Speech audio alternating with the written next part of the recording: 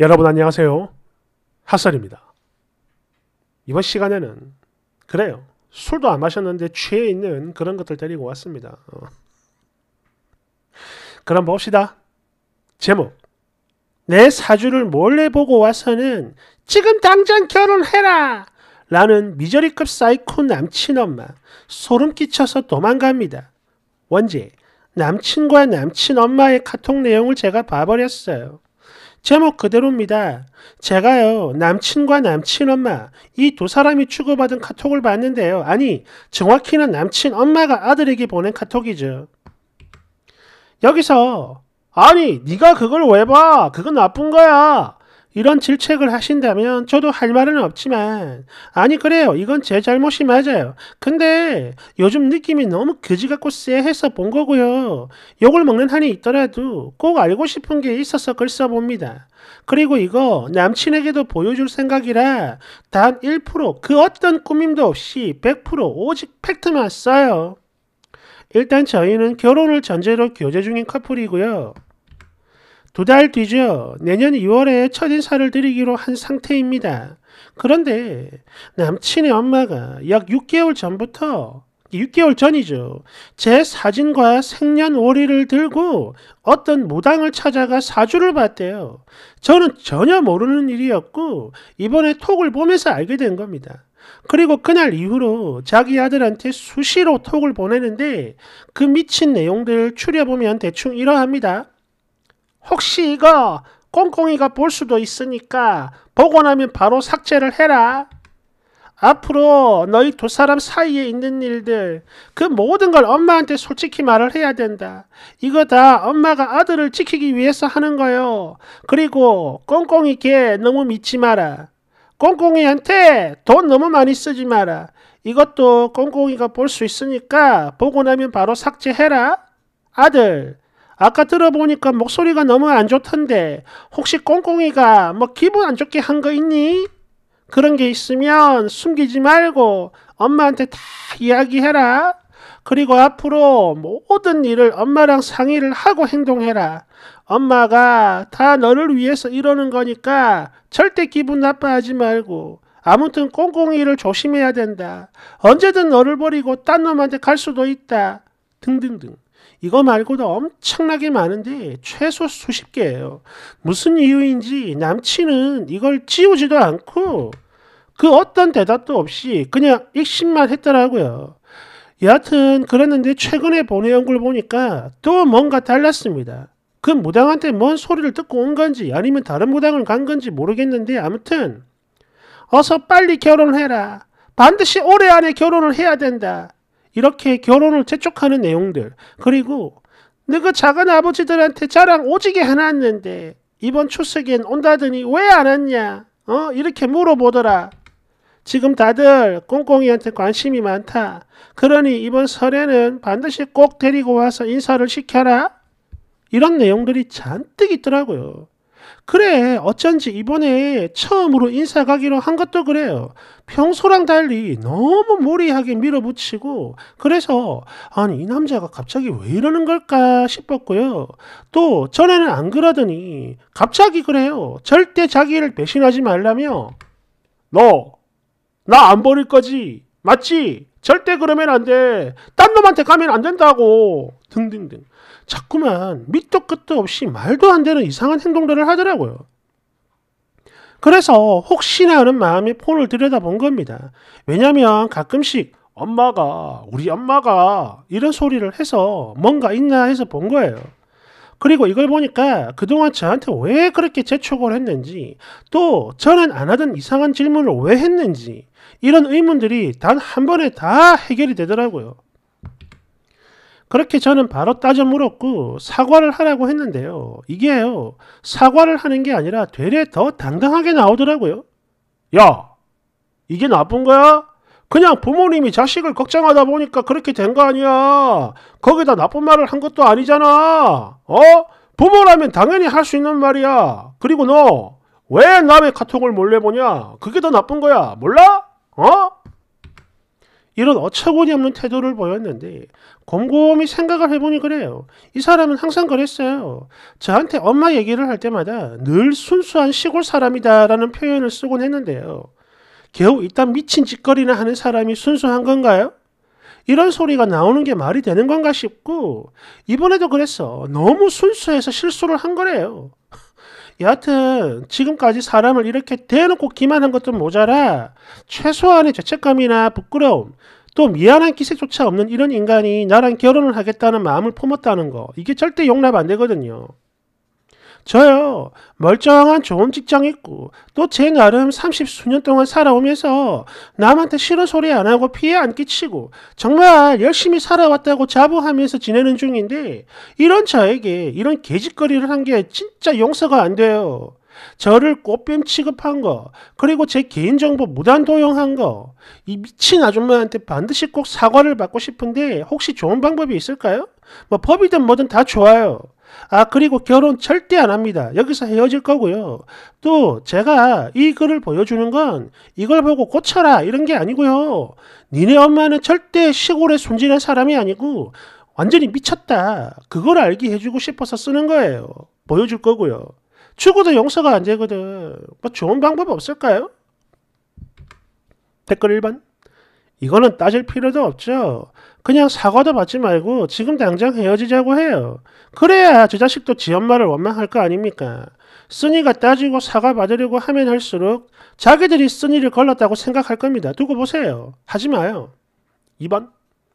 이거 이러쿵 저러쿵 할 필요도 가치도 없는 것들이에요. 그냥 이대로 뻥 차버리고 헤어지면 되는 겁니다. 알겠죠? 이거는 결혼하기 전에 알게 돼서 천만 다행인 거라고요. 기분 나쁠 게 아니야. 내 댓글 뭐 쓰니지는 절대 아니라고 하겠지만 남친에게 이 글을 보여준다는 것 자체가 헤어질 마음이 없다는 거야. 남친이 글을 보고 각성해서 쓰니 편을 들어주고 자기 엄마를 멀리하고 그리고 중간 역할을 잘하겠다 이런 말을 하면 그걸 믿고 결혼하고 싶은 게 진짜 속마음이다 이거죠. 예비시모 딱 봐요. 여차하면 이상한 점집에 가서 쓰니한테 살을 날리는 정도는 충분히 할 수 있는 정신 상태야. 저주하는 거죠. 아들은 또 그런 엄마가 순수하다고 빽빽빽 일할지. 그런데 오직 한 사람, 이 글쓴이만 미련이 줄줄줄 넘치는 중이야. 3번. 지금 당장 헤어져야죠. 그리고 남자 엄마한테 사과를 받을 게 아니라 반대로 큰 절을 올려드려야 하는 겁니다. 결혼하기 전 도망칠 기회를 주셔서 진심으로 감사합니다, 어머님. 이렇게요? 4번. 이거는 써니가 사과를 받을 일이 아니고 되레 고맙다고 절을 올려야 됩니다. 저 같은 경우에 옛날에 만나던 남자의 엄마가 계속 밥 먹으러 오라고 해서 부담되잖아요. 처음엔 거절을 했거든요. 그런데 이 엄마가 부득부득 계속 초대를 하는 거야. 꼭 오라고. 그래서 결국 거의 떠밀리듯 반강제로 가게 된 적이 있는데요. 그때 백화점 과일 바구니랑 케이크 하나 사들고 갔는데 여기서 남자와 또 남자의 형, 남자의 아빠 등등등 집안에 있는 남자들은 손가락 하나 까딱 안 하고 집안 유일한 여자인 그 남자 엄마만 부려 먹더라고요. 게다가 엄마라는 분도 이게 엄청 익숙한 듯 그 심부름 다 들어줘. 물이고 뭐고. 진짜 와 밥이 입으로 들어가는지 코로 들어가는지 모르겠더라고요. 그런데 더 기가 막힌 게 밥을 먹고 나니까 남자 아빠가 저한테 대뜸 에 우리 예비 며느리 그 설거지 하는 솜씨 한번 보자. 이지랄. 게다가 남자는 이 말을 듣고 말리는 게 아니라 나는 세상 스윗한 남자다. 이런 느낌으로 꼬꼬가 나랑 같이 하자. 내가 도와줄게. 진짜 다 미쳤나 봐 또 남자 형도 그래요. 오 공처가 이러면서 박수나 치고 앉았고. 그나마 남자의 엄마만 완전 기겁을 하면서 아이고 손님이 뭔 설거지를 해. 방에 들어가서 쉬어요.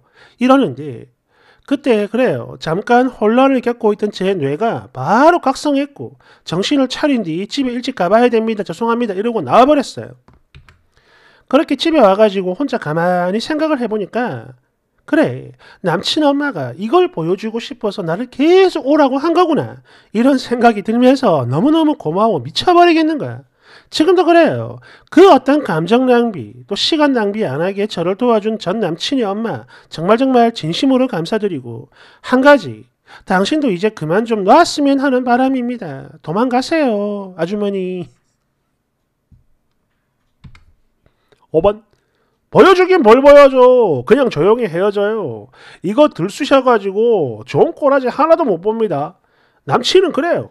그래. 결국 네가 나를 배신하는 거지. 내가 이럴 줄 알았어. 이럴 거고 또 그 할줌마도 그래. 그럼 그렇지. 무당이 딱 그러더라. 네가 배신할 거라고. 내 이럴 줄 알았다. 이러면서 쓰니만 더 피곤하게 될 거다 이 말입니다. 무엇보다 저런 인간들은 절대 사과 안 해요. 그 참 순진하네. 할 것 같습니까?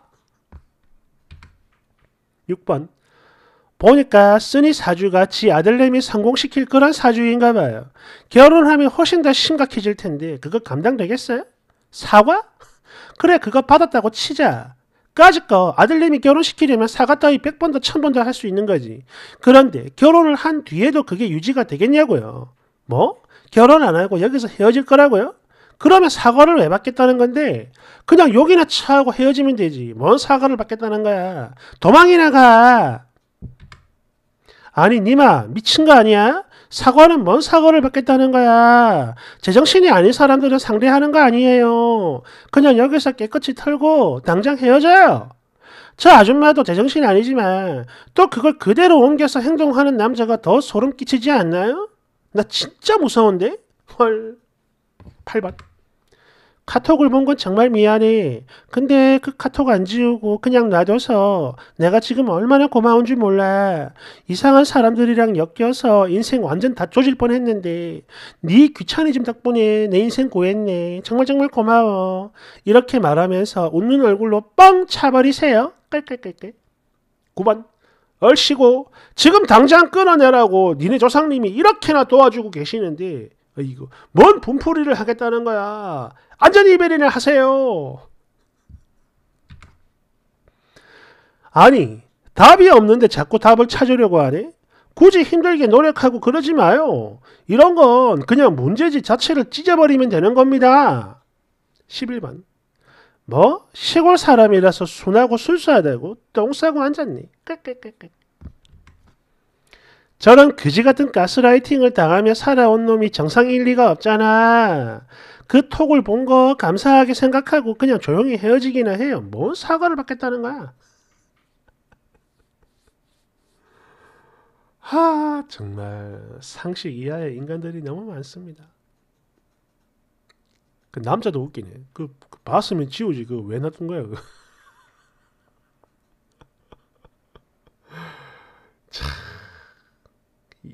요즘에는 이런 게 덜하지만 옛날에는 이런 거 되게 많았잖아요. 그, 그 가스나 그 어, 사주 좀 받아와라 이러면서 막 엄마들이 몰래 막 점집 가가지고 자기 아들이랑 궁합 보고 물론 뭐 반대인 경우도 많고 옛날에 언젠가 TV에서 본 건데 어떤 그 어떤 아줌마가 자기 딸내미를 그 상승원 시키려고 연인도 뭣도 아닌 그냥 지인 남자 잘 사는 남자 그 사람의 사주를 떠서 어떻게 뭐 궁합을 봤나 봐요. 좋게 나온 거지. 그래 놓으니까 결혼시키려고 막 발악하는 그런 내용을 어릴 때 본 기억이 있거든요. 야, 참. 어질어질하다. 어, 아무튼 그래요. 음, 감사합니다. 이거 도망가야 돼요. 늘 얘기하잖아. 인생을 좀 편하고 어? 행복하게 살고 싶으면 바보랑 싸우는 거 아니라니까. 어. 감사합니다.